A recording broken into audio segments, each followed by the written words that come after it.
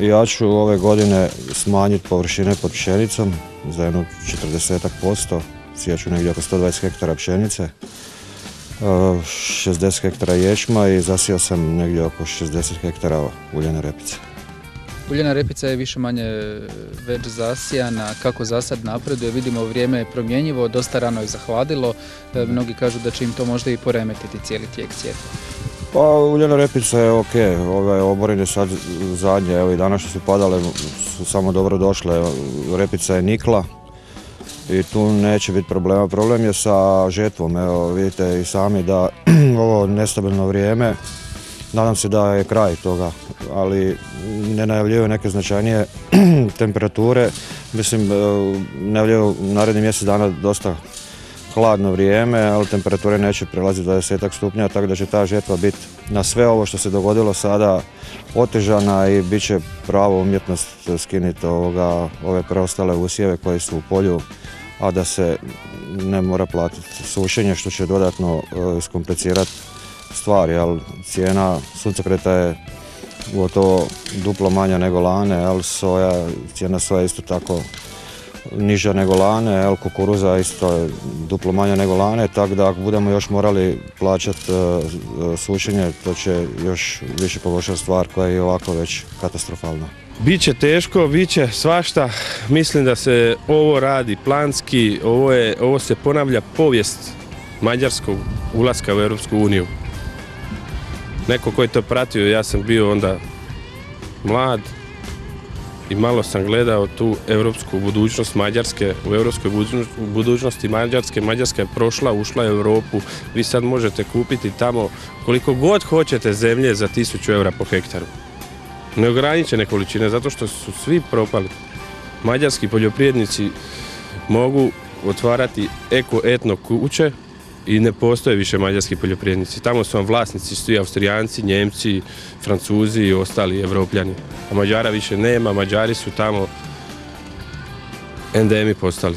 Tako će biti i kod nas i ta povijest se dešava, taj scenarij vam se dešava ovog trenutka u Hrvatskoj.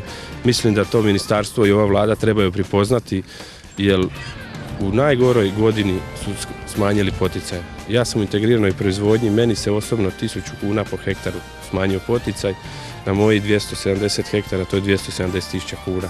Ali pustimo poticaj, ja ne živim od poticaja, ja živim od svoje proizvodnje. Ove godine su cijene otišle 50%, su manje nego prošle godine. Ja živim od svog proizvoda i od svog prinosa i od cijena koja dobijam za te proizvode na osnovu svojih prinosa. Biće teško, poslušat ću gospodina Linića, diću još jedan kredit da pregrmim ovu godinu, da ne moram ljude popuštati i da mi ne pozimaju strojeve koje imam na leasing. S kojima radim, s kojima proizvodim i s kojima zapošljam ljude. U ovakvoj situaciji, u ovakvoj godini kakva je sada, danas i ova kakva je bila, ništa bolje neće biti sa kukuruzom.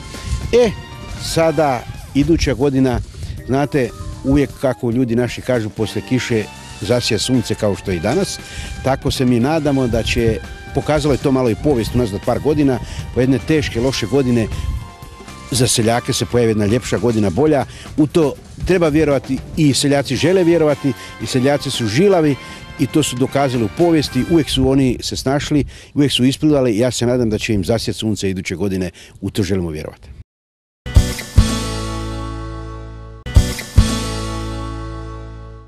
A zemlju za jesensku sjetvu treba dobro pripremiti. Opće je poznato da zakon zabranjuje paljenje ostataka u polju nakon žetve, pa se postavlja pitanje kako onda zemlju na pravi način pripremiti za sjetvenu sezonu. Odgovor na ovo pitanje je jednostavan, malčiranje, a u sljedećoj priči otkrivamo i kako malčirati. Malčiranje je postupak kojim se tlo prekriva određenom biomasom da bi se obogatilo te da bi se spriječilo nicanje korova. Radi se o pradavnoj metodi koja je u zapadnoj Europi postala standardni dio poljoprivrednog procesa. Nažalost, kod nas su malčari još uvijek rijetkost na poljima. Paljenje kao postupak e, nije dobar niti za zemlju, niti za poljoprivrednu proizvodnju. Znači, u zemlju treba vratiti što je moguće više e, biljnih ostataka i treba omogućiti da se ti biljni ostaci što prije razgrade. Znači, evo, upravo ovi strojevi malčari su ti koji to čine, znači oni mogu praktično usitniti sve biljne ostatke bilo da se radi o kukuruzu, bilo da se radi o repici ili nečemu drugome i onda ti biljni ostaci koji se inkorporiraju u tlo puno brže se razgrađuju nego da ostanu gore na tlu ili da se samo zaoravaju. Pored toga, taj korijenov sustav recimo kod kukuruza ovdje ako ostane živ, ako se, ako se on ne počne ne, ne uništi, onda on na kraju krajeva nosi, nosi dio hranjiva iz toga, iz toga tla. Iskustvo pokazuju da usitnjavanjem biljne mase i ponovnim inkorporiranjem u tlo proizvodnja, iduća proizvodnja može biti, recimo ako se radi o pšenici koja dolazi poslije kukuruza, može biti i do tone veći prinos. Dakle, sve govori u prilog tome da je to dobro, da to treba raditi i evo sve više i u Hrvatskoj seljaka koji to čine.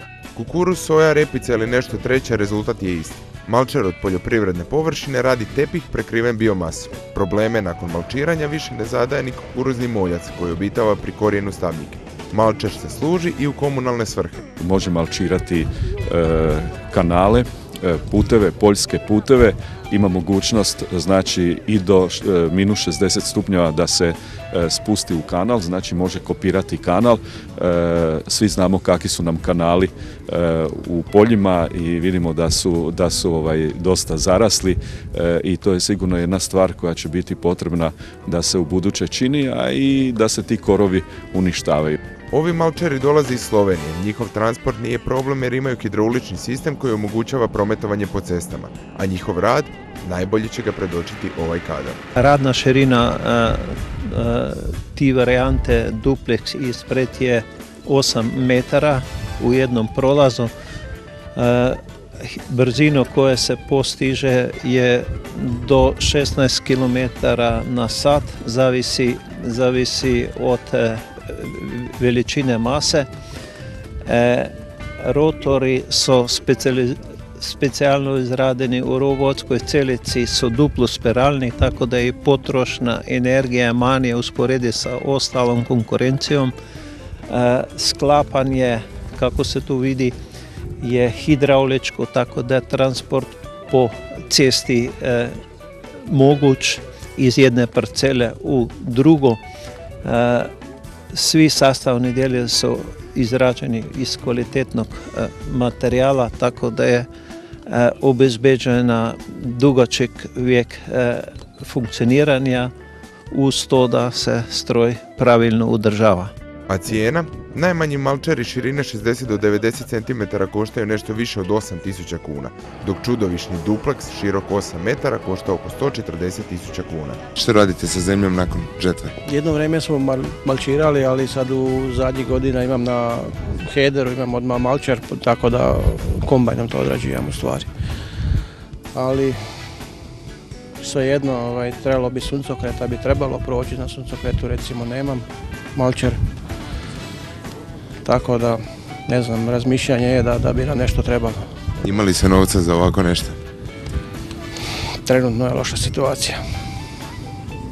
Ne znam, moramo mirovati jedno vrijeme, ne znam kako će biti. Ne znam što će biti s poljoprivredom. Rješenje je kao što to u poljoprivredni obično je slučaj u udruživanju malih seljaka, a prednost malčera je primjenjivost na gotovo sve modele radnih strojeva. Iako se radi o dosta skupoj igrački, zamislite koliko bi korist imali od primjerice tonu većeg prinosa pšenice po hektaru. Iako je eko proizvođača u Slavoniji sve više, tržište nažalost nedovoljno prepoznaje kvalitet njihovih proizvoda. Tako je na primjerice osječkim tržnicama cijena eko cikle čak 30% niža od one iz konvencionalne proizvodnje. Provjerili smo zbog čega konzumirati ekološki proizvedenu ciklu, to što sve od nje možemo napraviti. No i kakva je budućnost eko proizvodnje u Slavoniji kada se eko proizvodi prodaju po cijenama nižim od onih iz konvencionalne proizvodnje. Na prvi pogled ovo su obične čokoladne okruglice, no okus odaje čokoladom sakriveni tajni sastojak ciklu. Napravili kolač s ciklom da se vidi da to može biti neka slatka varijanta s tamnom čokoladom i bademima. Znači to je jedna kombinacija koja vam jamči dobro zdravlje i dobro raspoloženje. Zeleni četvrtak na Osječkoj tržnici bio je u znaku cikle, zbog toga što sadrži jod, dragocjena je u borbi protiv ateroskleroze i kod usporavanja procesa starenja. Sok je ekološki, bez šećera, bez konzervansa. Ja proizvodim ciklu, nosim kod Marice Juku u nizu, koja ima certifikat za, čak i evropski certifikat ima za pravljanje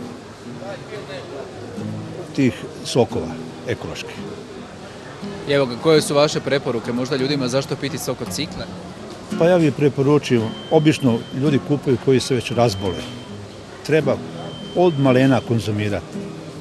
Kad je čovjek još dijete, ono, jer ovaj, ti koji troše taj sok, povremeno ciklu, mrkva, jabuka, ali normalno ekološki, ta djeca neće morati ići kod liječnika. U Ivanovom voćnjaku trenutno rastu jabuke, breskve i šljive, a upravo su jabuke u postupku dobivanja oznake eko. Da bi do toga došlo, zemlja u voćnjaku mora biti strogo kontrolirana. Djelomično su jabuke stare, ajde radi Jonagold, dijeli 6, 32 godine.